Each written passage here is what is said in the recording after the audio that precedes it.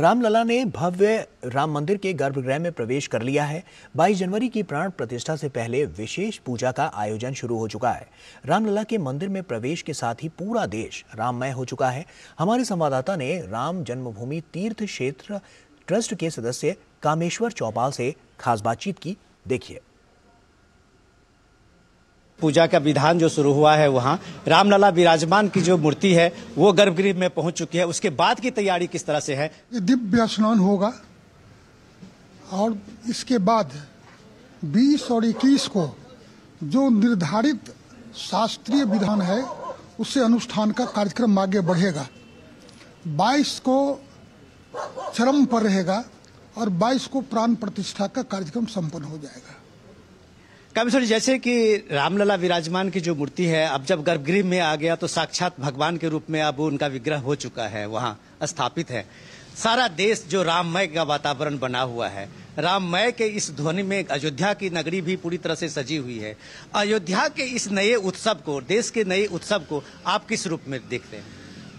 हमको लगता है कि राम जिस राज्य को प्रतिस्थापित करने के लिए राजकुमार के रूप में जंगल में गए थे और जब वो चौदह वर्ष के बाद लौट के मर्यादा पुरुषोत्तम बन के आए थे, वैसे ही मुझे लगता है कि ये संघर्ष जो था, वो राजकुमार का था।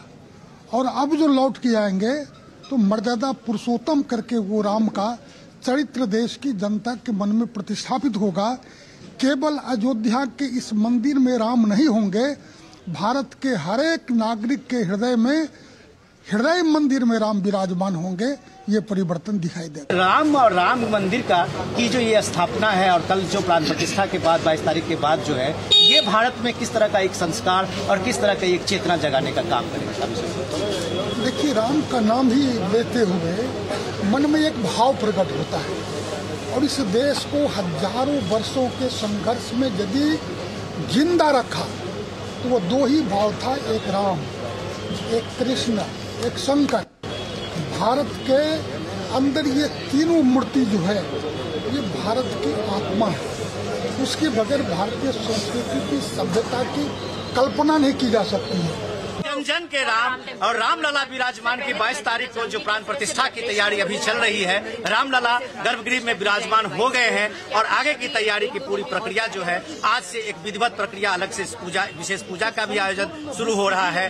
विनोद मिश्रा, डीडी न्यूज़ के लिए।